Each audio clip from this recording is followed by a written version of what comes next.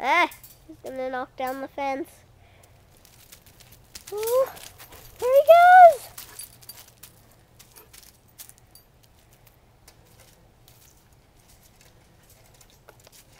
What do you think would happen if he got to the bunnies? Play with them. And they might have a heart attack.